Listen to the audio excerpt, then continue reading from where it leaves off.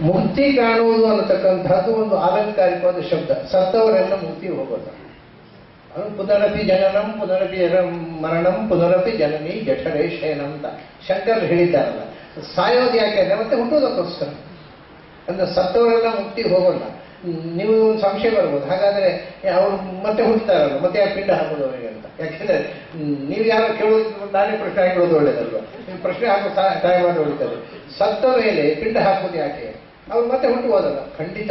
ಯಾವ ಮನೆಯಲ್ಲಿ ಪಿಂಡ ಹಾಕ್ತಾ ಇದ್ದಾರೋ ಅದೇ ಮನೆಯಲ್ಲಿ ಹುಟ್ಟಿರ್ಬೋದು. ಈ ಪಿಂಡ ಹಾಕುವ ಕಾರ್ಯಕ್ರಮ ಯಾವ ಮುಗಿಯುತ್ತೆ? ಯಾವ ತಟ್ಟೆಗೆ ಪಿಂಡ ಹಾಕ್ತಾರೆ ಅಂತ ಕಾಯ್ತಾ ಕೂತಿರ್ಬೋದು. ಆದರೆ ಪಿಂಡ ಹಾಕುವುದು ಸತ್ತ ಜೀವಕ್ಕಲ್ಲ ನಮ್ಮ ಜನಕ್ಕೆ ಅನೇಕ ವಿಷಯಗಳೇ ಗೊತ್ತಿಲ್ಲ. ಪಿತೃ ದೇವತೆಗಳು ಅಂತ ಒಂದು ದೇವತಾ ಗಣ ಇದೆ.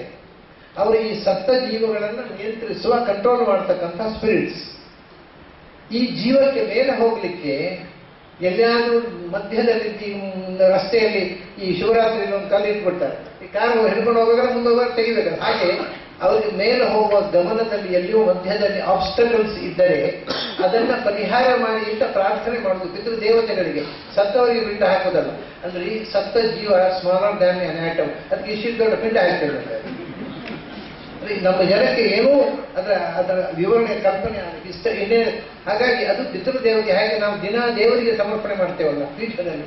ಹಾಗೆ ಪಿತೃಗಳಿಗೆ ಸಮರ್ಪಣೆ ವರ್ಷಕ್ಕೊಮ್ಮೆ. ಅದು ಯಾರು ನಮ್ಮ ಹಿರಿಯರಿಗೆ ಏನಾದರೂ ತೊಂದರೆ ಆಗಿದ್ದರೆ ಸದ್ಗತಿಗೆ ಹೋಗುವುದಕ್ಕೆ ಅದನ್ನು ಪರಿಹರಿಸಿ ಅಂತ.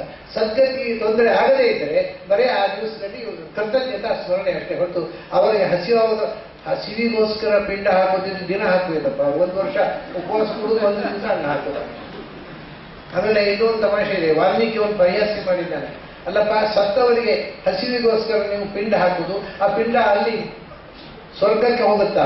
ಹಾಗೆ ಒಂದು ಕೆಲಸ ಮಾಡಿ. ಇದು ವಾಲ್ಮೀಕಿ ಹೇಳಿದ ಮಾತು. ಅಲ್ಲ, ಅವರು, ಅವ್ರು ಎಷ್ಟು ವಸ್ತುನಿಷ್ಠಾಗಿ ಆಸ್ತಿಗಳಾದ್ರೂ ಕೂಡ. ಹೇಳ್ತಾರೆ, ಯಾರೋ ನಿಮ್ಮ ಬಂಧುಗಳು ಬೊಂಬಾಯಲ್ಲಿದ್ದಾರೆ ಅವ್ರಿಗೆ ಹೇಳಿ, ನೀನು ಬೊಂಬಾಯಲ್ಲಿ ಹೋಟೆಲ್ ಊಟ ಮಾಡಬೇಡ ಆರೋಗ್ಯ ಹಾಳಾಗುತ್ತೆ. ಮತ್ತೆ ನಾನು ಇಲ್ಲಿ ಪಿಂಡ ಹಾಕ್ತೇನೆ? ಅಂದ್ರೆ ಇಲ್ಲಿ ಪಿಂಡ ಹಾಕಿದ್ರೆ ಬೊಂಬೈ ಅಲ್ಲ, ಇಲ್ಲಿ ಪಿಂಡ ಹಾಕಿದ್ರೆ ಸ್ವರ್ಗಕ್ಕೆ ಹೋಗುತ್ತೆ ಬೊಂಬಾಯಿ ಹೋಗುತ್ತೆ. ನಿಯರ್ ಆದ್ದರಿಂದ ಇದು ಅರ್ಥಶೂನ್ಯ ಅಂತ ಒಂದು ಕಡೆ.